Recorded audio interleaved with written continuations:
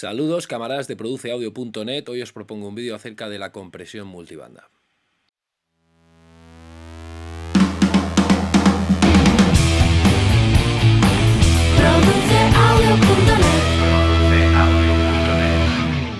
Estamos ya en el último vídeo de la serie 7 de 7, hemos visto 7 conceptos clave para toda mezcla en 7 días y el último es la compresión multibanda. La compresión multibanda es como la compresión normal, simplemente la podemos hacer eh, aplicada a ciertas bandas del espectro de frecuencias, es decir, podemos comprimir solo el grave o solo el agudo o simplemente un rango de frecuencias que nosotros marquemos. Entonces yo voy a utilizar eh, la compresión multibanda en el bus de salida. Y lo que voy a hacer es darle un poquito más de punch a mi, a mi mezcla, simplemente un poquito. Eh. Por supuesto que la compresión en el bus de salida tiene que ser muy sutil, ya lo hicimos con el compresor que utilizamos aquí en el bus de salida. Y esto es porque esta canción se supone que luego va a ir a un estudio de mastering para ser masterizada, entonces hay que dejar aquí un montón de headroom y lo que no podemos es mandar la canción ultra comprimida. Pero lo que sí podemos hacer es utilizar un pequeño compresor multibanda para, para actuar solo en ciertas frecuencias o en ciertos rangos. Y lo que vamos a hacer es intentar traer lo que está atrás traerlo un poquito adelante y lo que está adelante controlarlo un poquito. Y eso lo que va a hacer es que la mezcla tenga como un poquito más de punch y parezca como que se sale un poquito más ¿no? de los altavoces. Entonces yo voy a utilizar un compresor multibanda que tengo aquí de, de Isotope, pero podéis utilizar cualquier multibanda que tengáis. Y lo que voy a hacer es como siempre dividir. Voy a dividir el espectro de frecuencias, por ejemplo, de 0 a... de 20 a 100, a 110, luego de 110 a 1000, y luego de 1000 a 5000. Por ejemplo. Y entonces yo lo que voy a tener es cuatro bandas que voy a poder comprimir de forma independiente.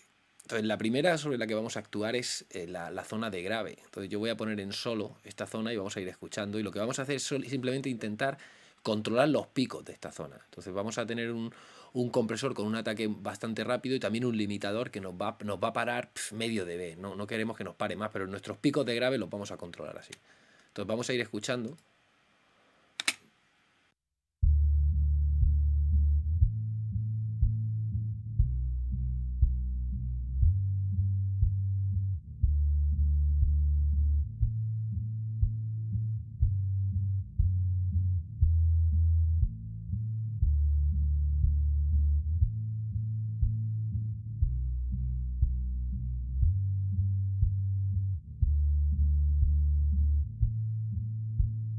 Como veis aquí el compresor comprime un poquito y luego el limitador termina de, cortar lo que, lo que sobra y lo que estamos reduciendo es los picos, un dB y medio, dos dBs.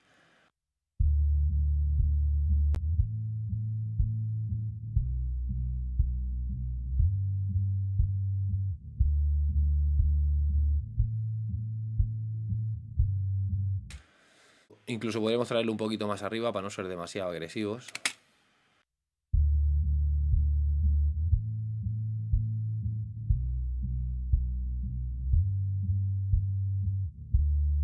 Y ahora lo que vamos a hacer es recuperar, por ejemplo, medio dB en esa zona.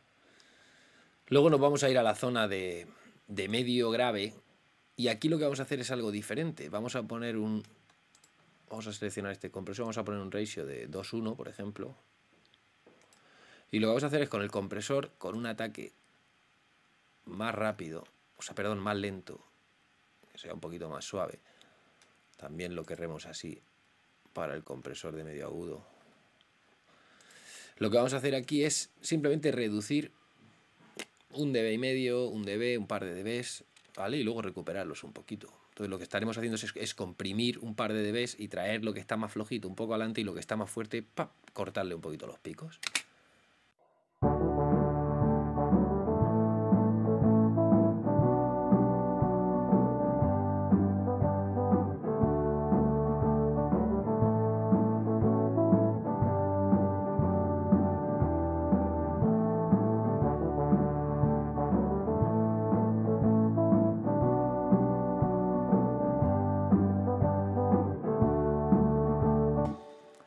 Vamos a hacer lo mismo también con el, con el medio agudo.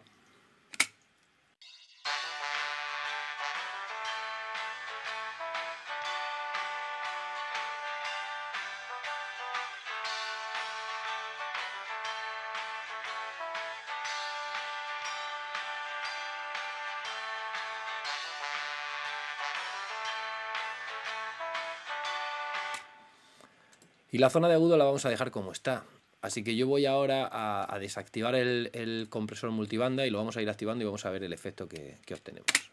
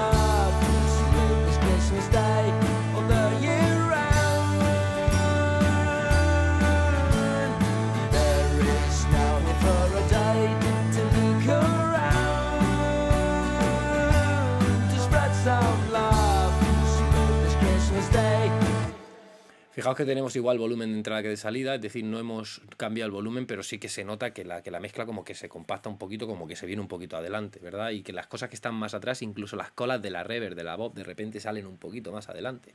Fijaos.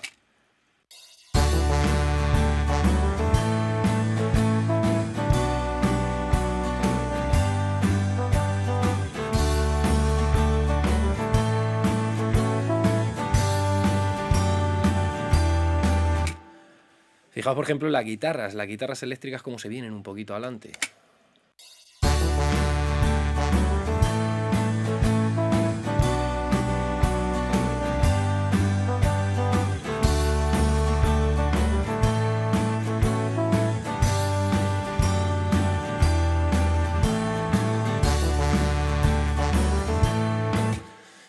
Control que hemos hecho del grave parece como que el grave es un poquito más sólido, un poquito más estable, no, no, no varía tanto en, en nivel.